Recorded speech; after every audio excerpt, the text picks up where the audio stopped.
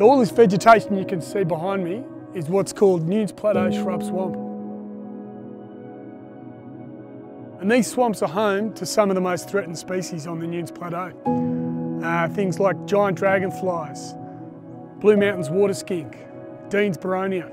They all require these systems to be able to survive. And one of the key features of these systems that's so important for these species is the peat layer, which sort of sits just below the vegetation layer. This peat here takes thousands and thousands of years to form, which is why when we get four-wheel drives and other recreational vehicles going through the swamps, chewing up all this peat, it means that the swamps are going to take a long time to recover. There's a pretty good chance that all the damage that's been done to date won't ever become actual peat swamp again in our lifetime and in probably our kids, kids, kids, kids' lifetime.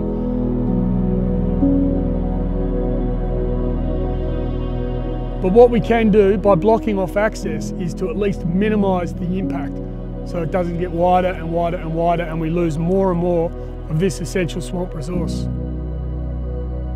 So often I see people come into a sport and they're new to it, so whether it be four-wheel driving, motorbiking or whatever it be, and they don't understand that there's a technical element to the sport. So essentially their knowledge is right foot, donuts, doing burnouts, all of that sort of stuff, because that's all they know.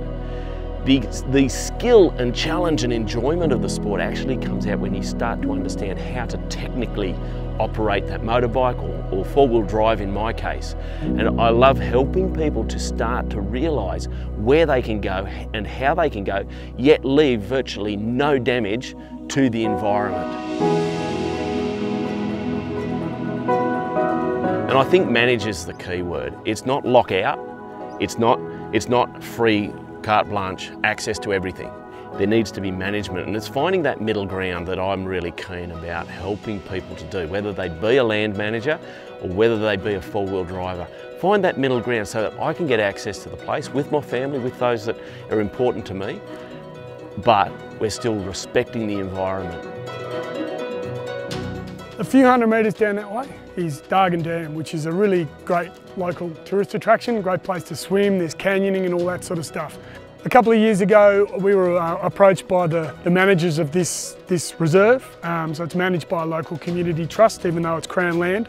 And they were interested in, in trying to work with us to potentially block off some of the, um, the access paths down to the dam. We chose this one um, primarily because it's going through the middle of a swamp because we found in the past that, um, you know, if the main access gets too hard, then they'll drive around and just widen the track and widen the path more and more and damage more swamp.